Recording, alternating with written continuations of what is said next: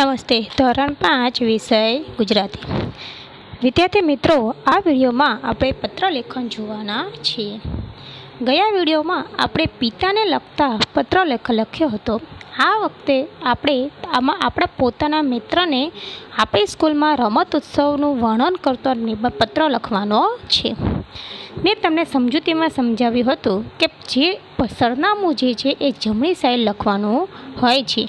કોનું હોય? તો કે જેને આપણે પત્ર લખતા હોઈએ તેના વિશે. તો જોઈએ.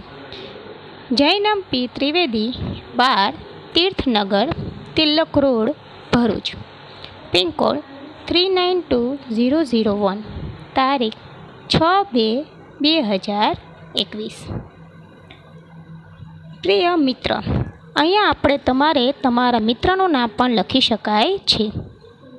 તો કે પ્રિય મિત્ર, તારો પત્ર મળ્યો તારી શાળાના. વાર્ષિક રમોત્સવનું વર્ણન વાંચી આનંદ થયો. આ પત્રમાં હું અમારી શાળાના રમતોત્સવનું વર્ણન કરું છું. તો કે તે પોતાના મિત્રને પહેલાં જણાવવાનું કે તે તે જે પત્ર લખેલો હતો તે વાંચ્યો અને તે તારી શાળાના વાર્ષિક રમત ઉત્સવનું વર્ણન કરેલું હતું તે વાંચીને મને ખૂબ આનંદ થયો. અને પછી લખવાનું આપણે કે જે, હવે હું પણ આમ આ પત્રમાં અમારી શાળાનું રમત ઉત્સવનું વર્ણન કરું છું. બીજું ફેબ્રુઆરીના દિવસે અમે સૌ શાળાના મેદાન પર સવારે સાત વાગે ગોઠવાઈ ગયા. પ્રાર્થના પછી મુખ્ય મહેમાનનું સ્વાગત કરવામાં આવ્યું. પછી ધ્વજવંદન કરવામાં આવ્યું. મુખ્ય મહેમાને રમોત્સવનું મહત્ત્વ સમજાવ્યું અને સૌને ઉત્સાહપૂર્વક તેમાં ભાગ લેવા જણાવ્યું. તો કે બીજું ફેબ્રુઆરીના દિવસે અમારી શાળામાં રમત ઉત્સવ હતો. તે દિવસે અમે સવારના સાત વાગે શાળાના મેદાનમાં ગોઠવાઈ ગયા. ત્યાં સૌ પ્રથમ અમે પ્રાર્થના કરી અને પછી જે મહેમાન આવવાના હતા એનું સ્વાગત કર્યું. છેલ્લે ધ્વજવંદન પણ કર્યું.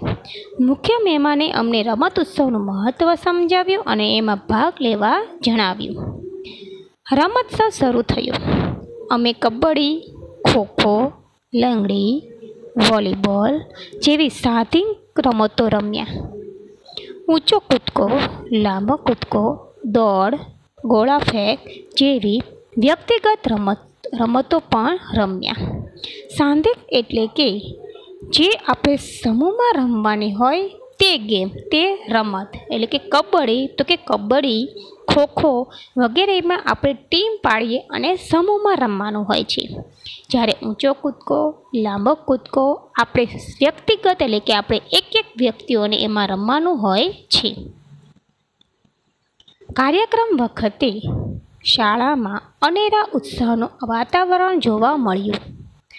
અમારો વર્ગ કબડ્ડીના પ્રથમ સ્થાને આવ્યો અને મને ગોળા ફેંકમાં પ્રથમ સ્થાન મળ્યું.